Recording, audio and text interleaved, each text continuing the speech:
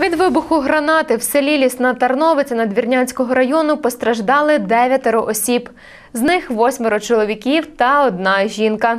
За словами очевидців, винуватцем події став військовослужбовець Збройних сил України, який і жбурнув вибуховий пристрій у людей.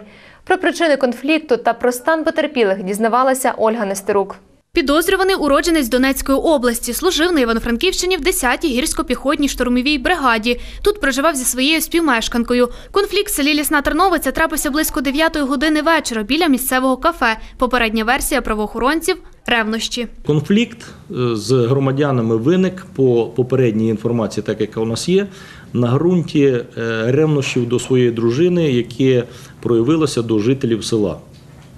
Внаслідок чого виник конфлікт, який переріс в нанесення тілесних ушкоджень, і е, що подальшому е, спонукало його е, взяти вибуховий пристрій, Вибуховий пристрій, який застосовував військовослужбовець, граната Ф1. Такі дані попереднього слідства.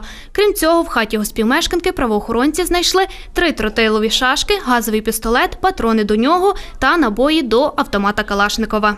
радіус її дії значить, е, значно великий і, е, і оболонка складається з чавуну. Тому коли вона розривається, то дійсно е, оточуючі отримують серйозні ушкодження. Найбільше від вибуху гранати постраждала співмешканка підозрюваного. Наразі жінка перебуває в реанімаційному відділенні Івано-Франківської обласної лікарні.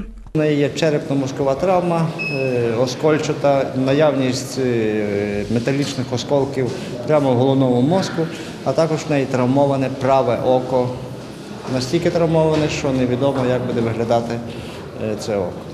Серед потерпілих також місцевий житель Ігор Зьола. Він отримав поранення руки та ноги. Також уламки гранати пошкодили його автівку. Чоловік каже, якби не машина, постраждалих могло бути набагато більше. Дерев по цілому, по цілій машині. Забрали її на експертизу поліція. Це так як кут був такий. Граната туди впала і так, що зберегла теж багато життів. Там далі за машиною стояли люди, діти стояли. Було б набагато більше цього всього. Ну, загалом постраждало десь 9 чоловік. Односельці про військовослужбовця відгукуються позитивно. Кажуть, вдома бував рідко і жодних конфліктів та суперечок за ним не спостерігали. Не можна сказати, що він якийсь дебушир, або він якийсь такий неадекватний, або що. Він собі е, і працюють на городі, і працювали, і картоплю садили, і косив він. Ну не можу я сказати, що він такий такий якийсь. Поліція затримала військовослужбовця впродовж години після інциденту. Наразі слідчі з'ясовують усі деталі конфлікту.